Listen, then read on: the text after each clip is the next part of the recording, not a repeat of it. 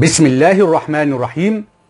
وداعا الشيخ أحمد عبد الكريم الجهري لا رد بعد اليوم. أو وداعا للرد على الشيخ أحمد عبد الكريم الجهري الحمد لله رب العالمين والعاقبة للمتقين ولا عدوان إلا على الظالمين.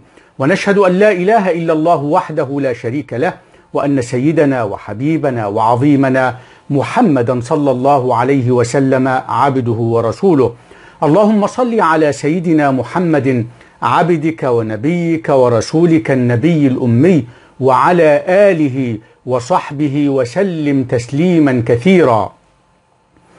وارض اللهم عن ساداتنا أبي بكر وعمر وعثمان وعلي وعن الصحابة أجمعين وعن التابعين وتابعيهم بإحسان إلى يوم الدين.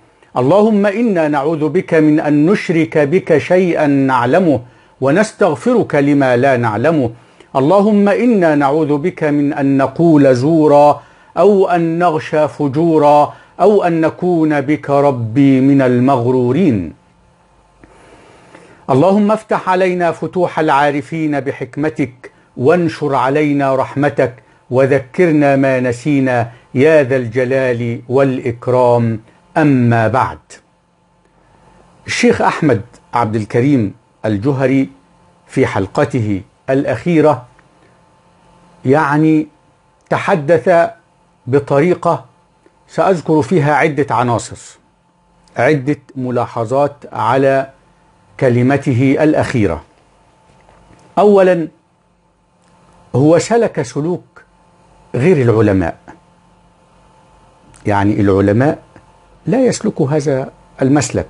العلماء إذا كانت أمامهم نقطة بيردوا عليها يوضحوها.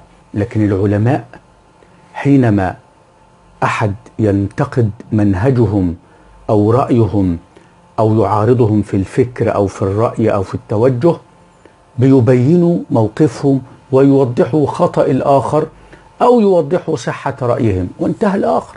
وانتهى الأمر. لكن ما فيش حد يغضب من أن يخالفه أحد في الرأي أو في التوجه أو في الكلام أو ينتقده في أخطائه. فيش حد من العلماء بيعمل كده. العلماء بيتناولوا الطرح اللي أمامهم بالتفنيد أو بالموافقة أو بإظهار صحة رأيهم. لكن الشيخ أحمد عبد الكريم الجهري لم يفعل ذلك. يقول هل شققت عن قلبي؟ إحنا استدلينا على ما تقوله وعلى وجهة نظرك من كلامك من كلامك من كلامك أنت. كلامك دايما مناصر للناس دول.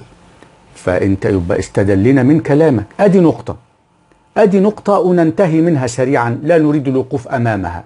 النقطة الثانية أنك تصرح وتقول بأنك ترى أفضلية سيدنا علي بن أبي طالب في خلافة الرسول قبل أبي بكر وعمر وعثمان. وتقول أن هذا لا يعيب الصحابة لأن الصحابة ليسوا معصومين. مع إن فعلا دفنت العصمة يوم دفن النبي صلى الله عليه وسلم. فيش حد بعد النبي معصوم. وهنرجع للنقطة دي في نقطة تالية. لكن أنا أتكلم الأول عن أنك أنت بتصرح أن أنت وجهة نظرك أن سيدنا علي أحق بالخلافة بعد الرسول مباشرة. قبل أبي بكر قبل عمر وقبل عثمان وتقول أن هذا لا يقدح في مين؟ في الخلفاء الراشدين أو لا يقدح في الصحابة يعني. طيب دي وجهة نظرك. لكن هل أنت قرأت عن دي فهمت عرفت درست؟ لا أنت انطباعك من الكلام اللي بيقال حولك فتبنيت هذا الرأي. لكن أنا سآتي لك بكلام الإمام الشافعي. أدي ده واحد. من يعني طبقات كثيرة جدا من العلماء آه لم يروا اللي انت شايفه ده واللي انت بتكعبل الأمة بيه وبتنغص على الأمة عيشتها بيه وتفتح قضايا انتهت وخلاص خلصت خلاص الأمر ساقه الله هكذا وانتهى الأمر لكن انت بتفتح الموضوع ده تاني قد تقول أنا بقول أيوه طب رأيك ده يتبني, يتبني عليه إيه؟ إيه فايدته؟ إلا كثرة التناحر والشقاق بين الأمة، يعني أنت بتقول ده أنا أتمنى إن الأمة آه، تتحد كلها بشقيها. إحنا نتمنى ده قبلك. وعلماء تمنوا ذلك وحاولوا التقريب قبلك. لكن أنت بتقول ده يعني بطريقة خاطئة هوضح لك خاطئة إزاي.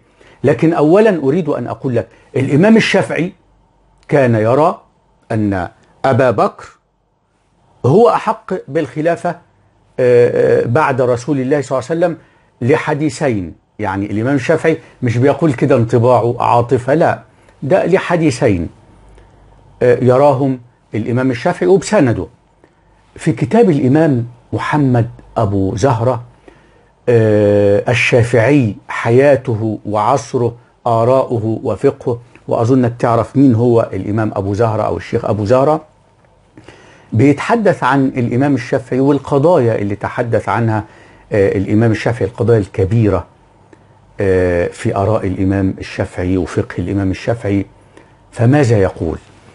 الشيخ محمد أبو زهرة بينقل رأي الإمام الشافعي في موضوع الإمامة الحتة اللي انت فتحتها دي ومش بتوضحها. انت بتقول رأيك كده وخلاص وتسيب الناس تضرب أخماس في أسداس وتشكك الناس. لكن المفروض لو فتحت قضية تفتح القضية وتعرف الناس إيه وجه الخلاف فيها ومين أصحاب الرأي ده ومين أصحاب الرأي التاني وأي التوجهات.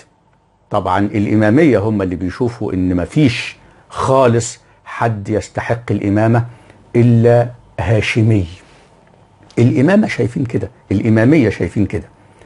يعني معنى كده طالما مش هاشمي يبقى أبو بكر عمر عثمان حتى عمر بن عبد العزيز بعد كده كل دول لا يستحقوا إيه؟ آه إنهم يكونوا خلفاء لأن الخلافة تكون في الهاشميين فقط على رأي الإمامية. أنت بتختار رأيهم الآن. أنت بتختار رأيهم مش بقول لك أنت زيهم أو منهم آه الله أعلم أنت يعني تفكيرك إيه لكن آه أنت بتختار رأيهم أهو. طب الإمام الشافعي ماذا قال؟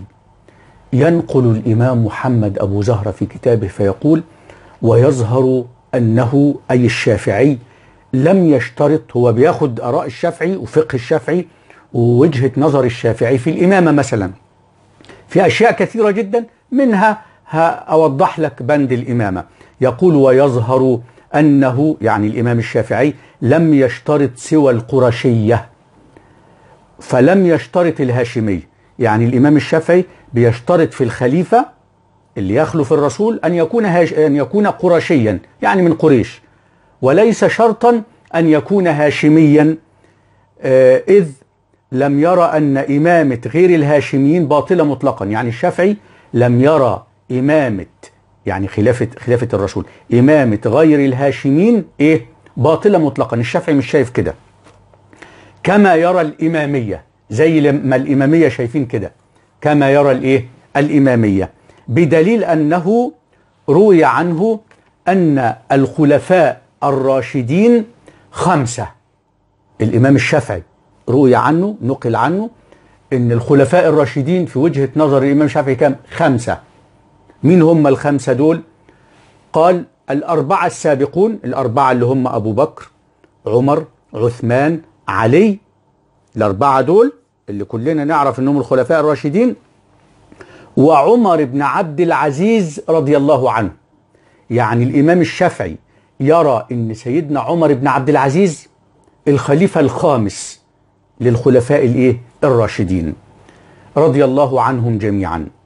ولو أنه الشافعي ولو أنه يشترط الهاشمية لصحة الإمامة يعني لو الإمام الشافعي بيشترط أن الخليفة عن النبي أو اللي من الخلفاء الراشدين يكون هاشمي من بني هاشم لو ده شرط عشان صحة الإمامة عند الإمام الشافعي لما اعتبر عمر بن عبد العزيز خليفة. كان ما اعتبرش إن سيدنا عمر بن عبد العزيز خليفة ورآه الخليفة الخامس الإمام الشافعي. لأنه أموي لأن عمر بن عبد العزيز من الأمويين. طبعا أنت دي أول ما تتحط عندك يا شيخ أحمد هترفض رفض نهائي. ده أموي. ده شامي الامويين أنت بتقول كده. لأنه أموي. إحنا هنا بنتكلم عن الإسلام. مش عايزين نقسم الأمة. أموي ما خلاص خلص التاريخ ده خلص. خلص. إحنا نستفيد النهارده من الإسلام من القرآن والسنة. يبقى الإمام الشافعي لم يشترط الهاشمية بدليل إنه جعل عمر بن عبد العزيز في نظره ال- الخليفة الخامس رغم أنه أموي رغم أنه إيه؟ أموي. وليس بهاشمي. وما ولي هاشمي سوى علي. فيش حد. هاشمي ولي الخلافة إلا سيدنا علي بن أبي طالب. وإلى هنا نتوقف لنكمل في الحلقة القادمة إن شاء الله تعالى. وآخر دعوانا أن الحمد لله رب العالمين والسلام عليكم ورحمة الله وبركاته.